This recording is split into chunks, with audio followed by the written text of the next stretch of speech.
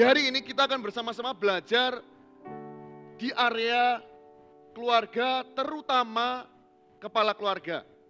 Ya, yang kepala keluarga katakan amin. Kalau yang profesional muda, berarti Anda nantinya kalau yang pria akan jadi kepala keluarga.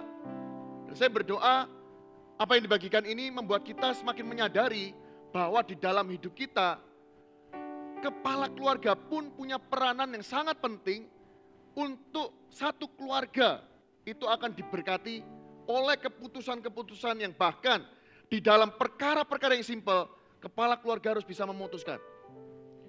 Yosua yang akan kita baca, dia mengajarkan untuk kepada orang-orang penatua, orang-orang tua, bahkan pengatur-pengatur barisannya, untuk mereka mengambil keputusan-keputusan dasar yang ini harusnya bahkan ditarik sampai ke level keluarga yang seharusnya seorang kepala keluarga itu ambil di dalam keputusan ini. Ya, buka bersama dengan saya Yosua 24 ayat 14 sampai dengan ayat yang ke-15. Ya, ayat 14 sampai dengan yang ke-15. Saya akan bacakan. Oleh sebab itu takutlah akan Tuhan dan beribadahlah kepadanya dengan tulus ikhlas dan setia. Jauhkanlah Allah yang kepada nenek moyangmu telah beribadah di seberang sungai Efrat dan di Mesir dan beribadahlah kepada Tuhan. Tetapi jika kamu anggap tidak baik untuk beribadah kepada Tuhan, pilihlah hari ini kepada siapa kamu akan beribadah. Allah yang kepada nenek moyangmu beribadah di seberang sungai Efrat atau Allah orang Amori yang negerinya kamu diami ini. Tetapi aku dan seisi rumahku kami akan beribadah kepada Tuhan. Saya ulang sekali lagi, yang terakhir, tetapi aku dan seisi rumahku kami akan beribadah kepada Tuhan. Sebuah statement, sebuah kata-kata yang sangat tegas, bahkan Yosua mungkin di dalam, kalau Anda lihat di sini, ada tanda seru, seperti bahwa Yosua sangat yakin, sangat percaya bahwa aku dan seisi rumahku akan beribadah kepada Tuhan. Bukan kepada Allah yang lain, bukan kepada Allah orang Amori, tetapi kepada Tuhan. Dari sini kita melihat seorang figur, dia ini seorang pemimpin, dia juga seorang bapak, dan dia seorang kepala di dalam suatu rumah, dan dia berani dengan tegas berkata, aku dan seisi keluargaku akan beribadah kepada Tuhan. Masalahnya di zaman kita sekarang, kepala-kepala keluarga itu justru jadi pribadi yang lembek. Bukan berarti tegas atau kasar, bukan. Tetapi berani mengambil keputusan itu penting. Katakan mengambil keputusan itu penting. Seorang kepala keluarga harus bisa mengambil keputusan terutama di dalam hal ini. Apa itu? Memastikan setiap orang di dalam keluarganya tinggal di dalam naungan yang tepat.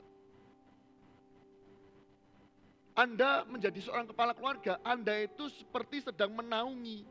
Kalau Anda menaungi, Anda mau bergeser ke mana?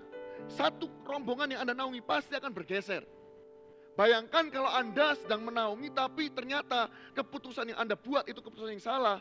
Anda itu sedang meresikokan satu keluarga yang sedang Anda pimpin. Anda meresikokan keluarga Anda sendiri. Nah hari ini kita belajar. Apa yang kita bisa pelajari dari ayat yang kita baca? Yang pertama, Yosua menjelaskan ayat ini justru bukan kepada seluruh rakyat Israel. Nangkep ya Bapak Ibu?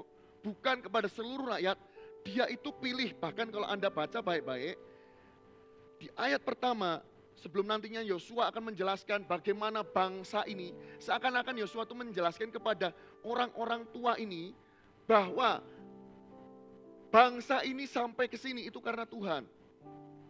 Dan Yosua nggak pengen nanti setelah dilepas sama Yosua, kenapa? Karena sudah meraih tanah kanak, tanah perjanjian sudah diraih sudah dibagi-bagi. Yosua harus kasih ke mereka dan Yosua tugasnya selesai dan dia akan tinggalkan itu. Tapi di sini Yosua tidak panggil seluruh rakyat Israel.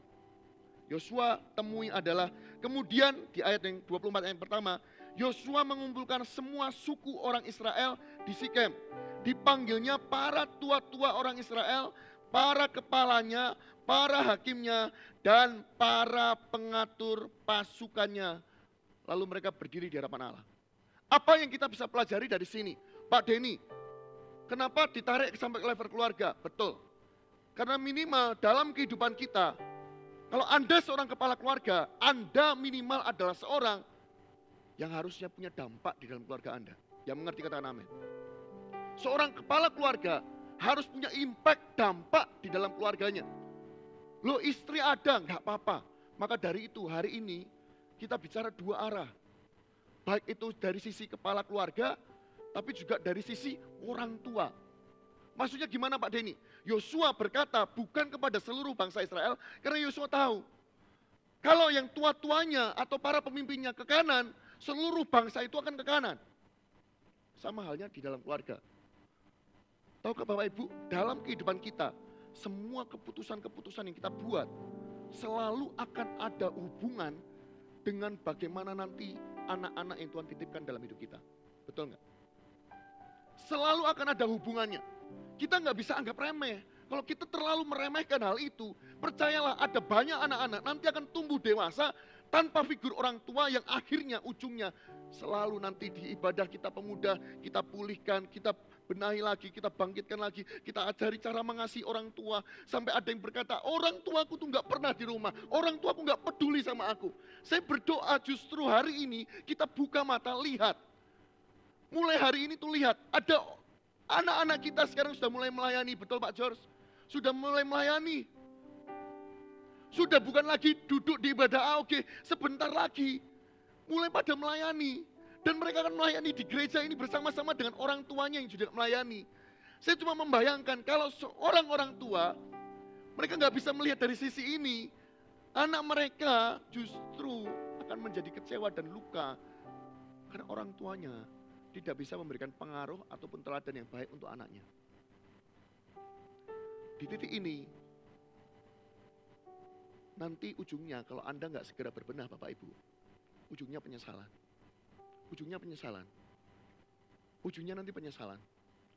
Dan bagi saya, Anda sedang membuang waktu-waktu kehidupan yang Anda sendiri nggak tahu sampai kapan Anda diberikan kasih karunia itu kan. Anda nggak tahu, saya nggak tahu. Makanya kalau Bapak Ibu tahu, saya begitu kalau waktu saya itu pakpakan saya begitu akan bayar harga sedemikian rupa untuk segera menyelesaikan apa yang Tuhan tugaskan. Tapi kalau Anda sebagai orang tua, ketahuilah, Anda nggak selamanya bersama dengan anak Anda.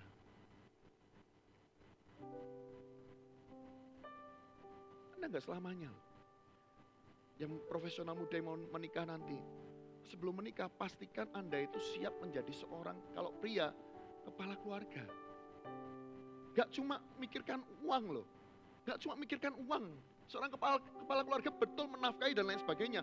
Memperlengkapi, mencukupi betul. Tapi seorang kepala keluarga, tongkat didikan juga harus ada. Seorang kepala keluarga harus punya tongkat didikan untuk apa? Anak-anaknya. Ada kasih juga di situ. Tongkat didikan gak harus dengan memukul. Tapi ada didikan yang diberikan untuk anak-anak Anda. Yang suatu saat yang kita nggak tahu kapan.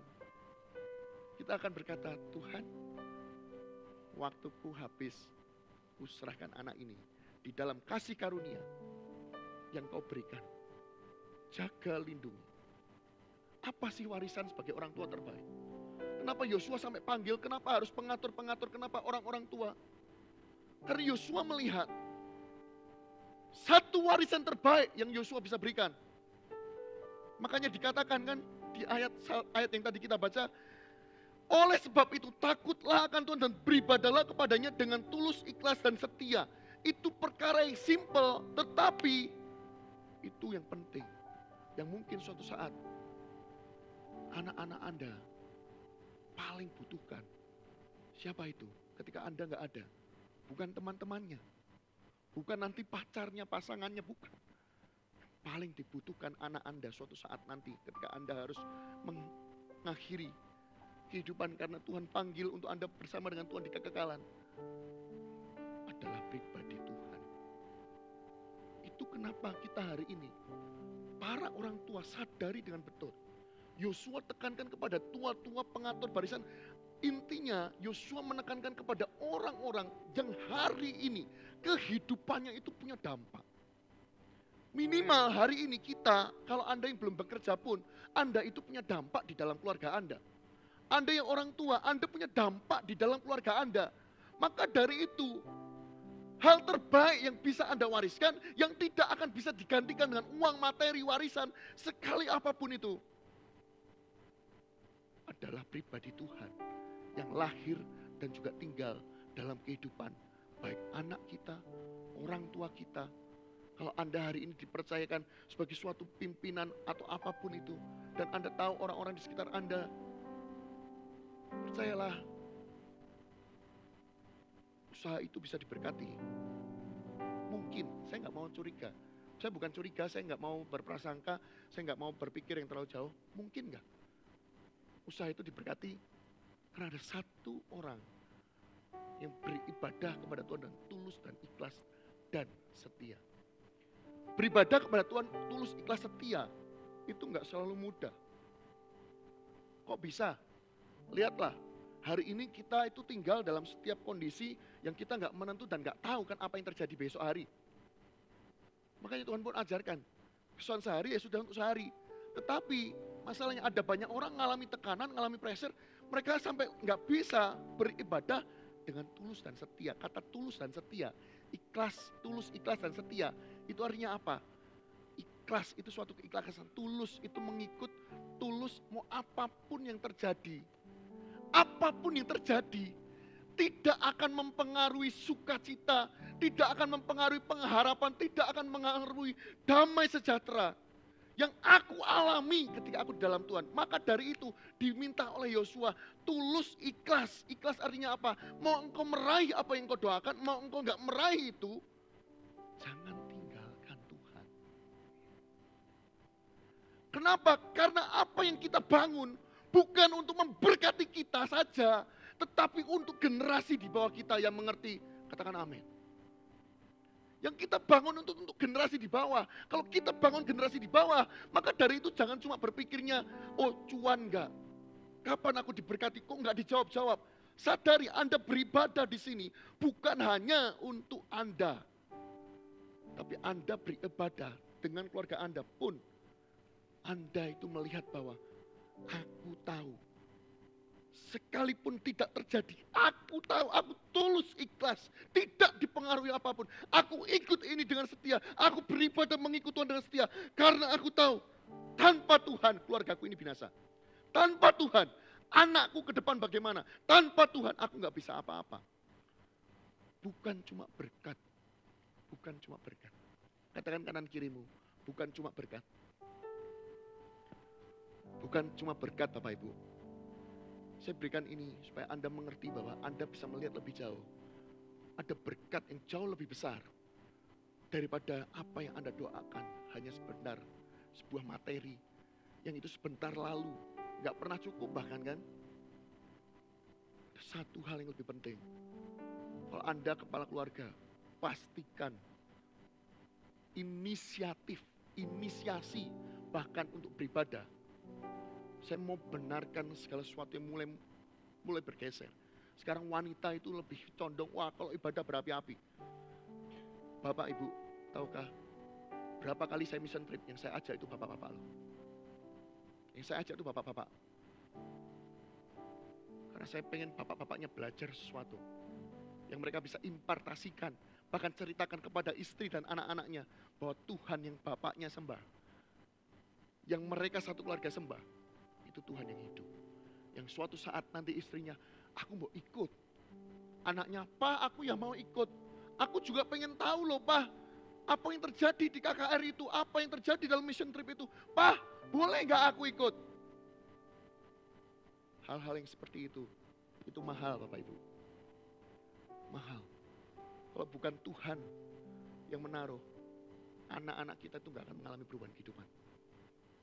Tapi hari ini sadari, sadari bahwa bukan cuma materi yang kita cari,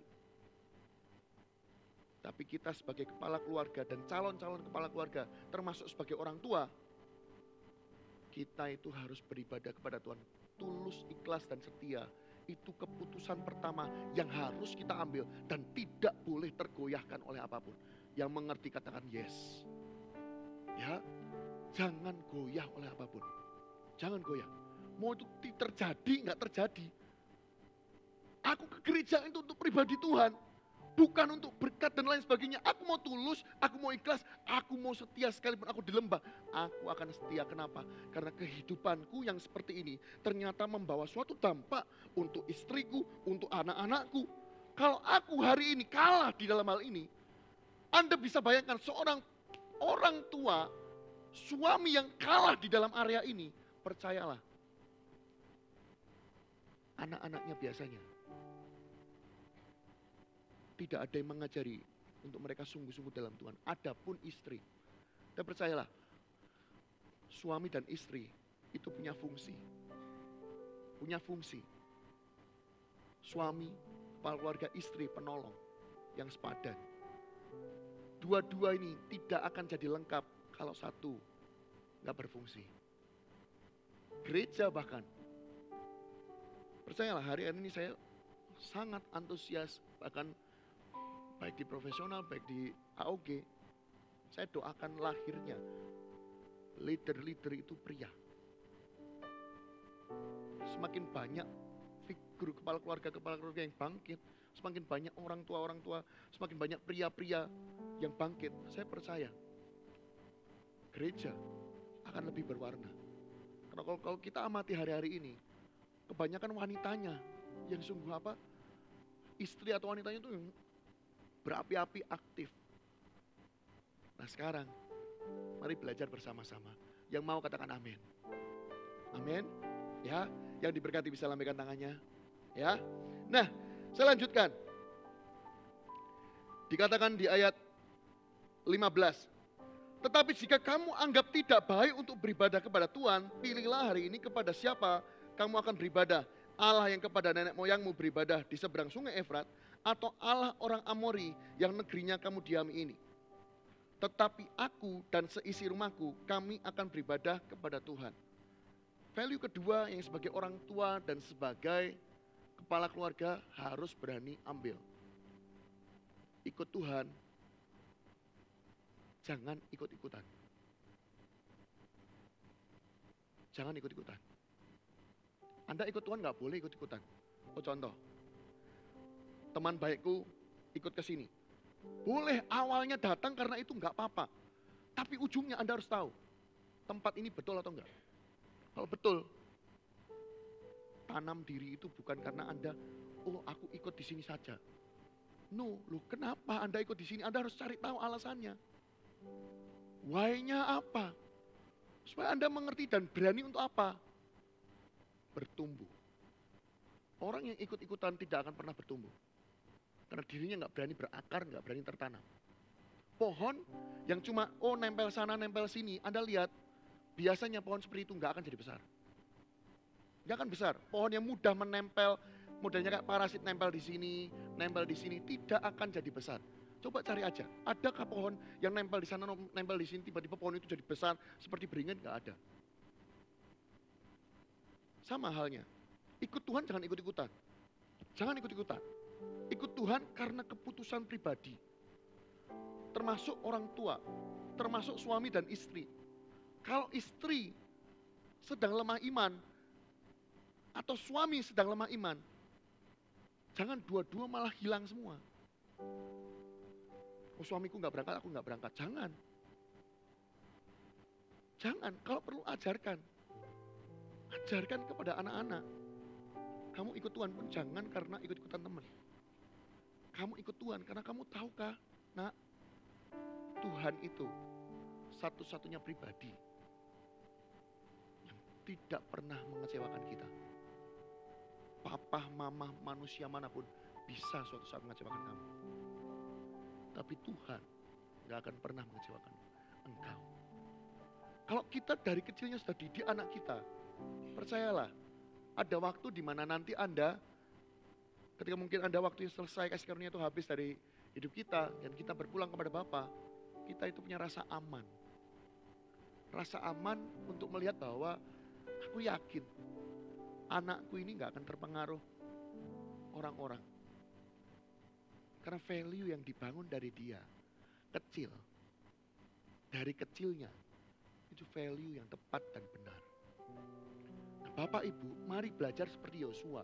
Yosua ini berkata, kamu ngerasa Allahmu, Allah yang kita sembah kurang baik atau gimana? Kamu mau sembah yang siapa? Terserah. Tapi aku dan seisi rumahku, aku dan seisi rumahku, kita akan beribadah kepada Tuhan. Suatu keputusan yang itu keputusan yang nggak bisa dipengaruhi orang lain. Keputusan yang bukan karena ikut-ikutan, tapi keputusan yang bulat karena dia tahu bagaimana Tuhan mengasihi, menyertai, dan membawa Yosua dari sejak awalnya di Mesir sampai keluar sampai ke tanah perjanjian. Yosua Allah yang tahu. Maka dari itu kita sebagai orang tua pun belajar hari ini Bapak Ibu. Ambil keputusan untuk mengikut Tuhan gak boleh ikut-ikutan. Malah kalau bisa kalau suami lagi down, istri lagi down, kuatkan mereka, tarik mereka. Kamu tuh jangan malah ikut-ikut temanmu. Rekan bisnismu sekarang mundur dari Tuhan, kamu jangan ikut. Kita nggak punya hak untuk kecewa. Kita nggak punya hak untuk kecewa. Ingat, kalau beribadah sama Tuhan itu tulus, ikhlas, setia. Ada tulus dan ikhlas di balik kesetiaan. Bukan cuma setia saja tapi nggak tulus, nggak ikhlas, nggak bisa. Ada tulus, ada ikhlas, ada setia.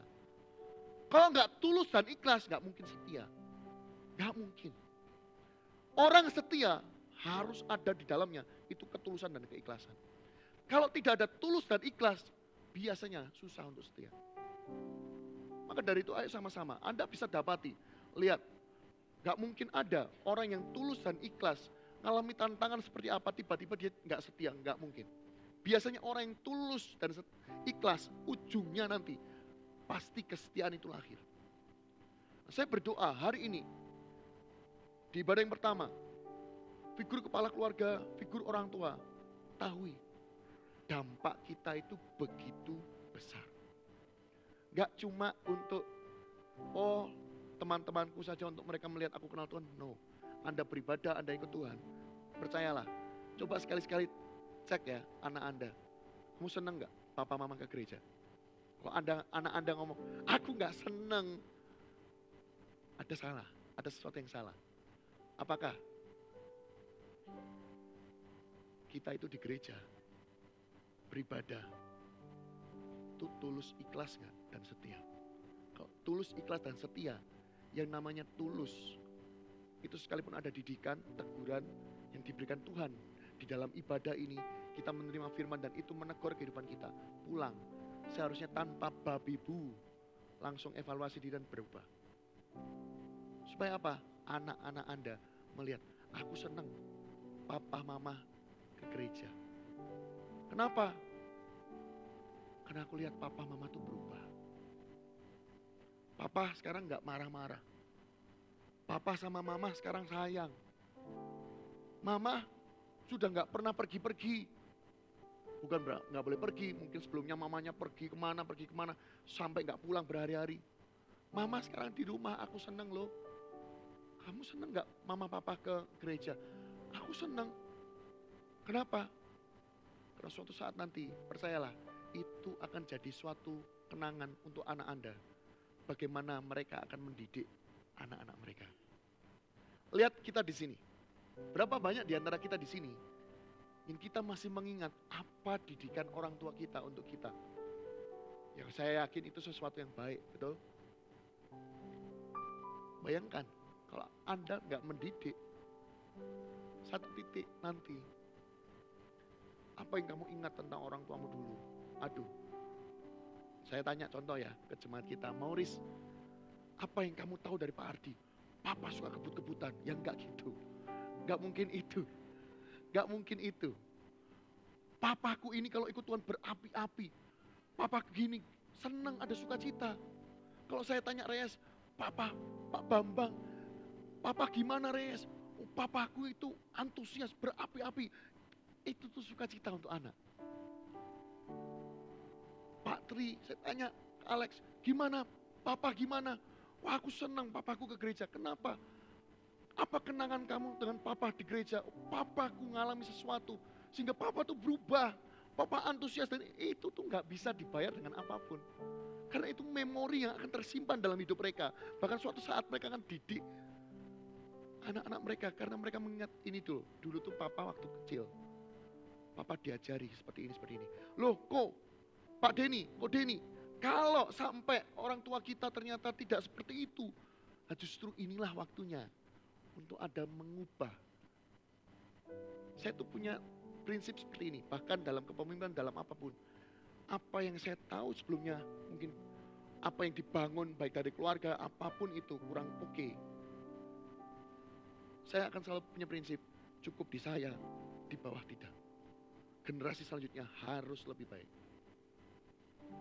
harus lebih baik. Dan maka dari itu, semoga prinsip yang sama kita pegang. Maka dari itu, suami dan istri, sebenarnya ini di ibadah dua saya mau jelaskan, tapi saya tambahkan di ibadah umum pertama. Suami dan istri, tirulah Ayub. Inisiasi doa harusnya suami. Harusnya suami. Betul nggak? Ayub itu ya, saya tuh kagum sekali anak-anaknya pesta pora. Ayub itu menyucikan, menguduskan mereka, mendoakan mereka loh. Ayub terpuruk. Istrinya, kamu tuh masih setia toh. Kutuki Tuhanmu dan lain sebagainya. Ada dua area yang kita perlu belajar. Yang pertama, inisiasi doa kalau bisa. Itu kepala keluarga. Mesbah keluarga. Harusnya kepala keluarga Yuk kita berdoa yuk. Kita berdoa. Minimal dari orang tua. Jangan sampai malah anak, pah, mah, doa. Wah itu bahaya itu. Kalau sudah ke gitu, itu sebenarnya sudah lampu merah alarm. Untuk kita melihat kondisi kerohanian kita. Yang kedua untuk istri, hati-hati dengan lidah bibir dan apa yang Anda perkatakan. Percayalah, apa yang Anda katakan itu bisa membangun, melemahkan, atau menghancurkan suami Anda. Hati-hati sekali dengan perkataan. Para istri, calon istri, hati-hati sekali. Karena apa yang Anda katakan, kalau Anda terbawa suasana langsung Anda asal ceplos, ceplos, ceplos, ceplos seperti itu, satu titik nanti Anda sesali loh. Karena waktu yang kemarin kan kita dengar sendiri, perkataan itu baik berkat atau kutuk. Dua-dua loh. Itu Anda mengucapkan, berarti Anda mengimani itu terjadi loh. Hati-hati benar. Makanya saya sarankan kepada para istri, renungkan firman, baca Amsal, baca Mazmur. Kenapa? Pak Denny, saya percaya gini loh, Orang yang merenungkan ini, firman, dan itu dijadikan kehidupan dalam hidupnya. Mau kondisi apa pun itu dia pasti akan memikirkan untuk aku tuh mau didapati benar, bukan salah. Mau emosi, karena firman di dalam, mau emosi sama suami, karena firman di dalam, dia kontrol itu dan menyampaikan dengan bahasa yang lebih baik. Tapi kalau ternyata, contoh suami Anda selingkuh dan lain sebagainya. Wah itu nggak perlu dengan halus. Langsung ngomong aja terus terang belak-belakan ngomong papa kau seperti sampaikan.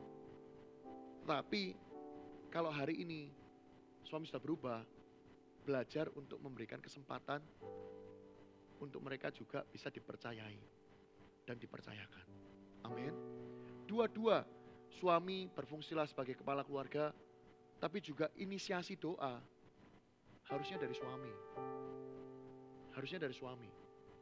Suami yang berdoa itu sukacita untuk keluarga loh. Kalau Anda sebagai suami Anda nggak pernah berdoa,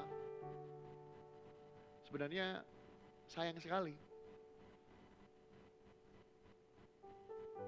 Karena berkat itu kan selalu dari kepala turun ke bawah.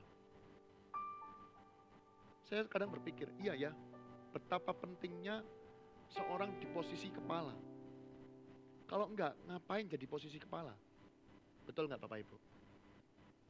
Maka dari itu, Saya berdoa hari ini, pagi ini, apa yang saya bagikan bisa memperlengkapi Anda, membangun kehidupan Anda. Terutama, saya terus terang di awal ya, kepala keluarga. Amin.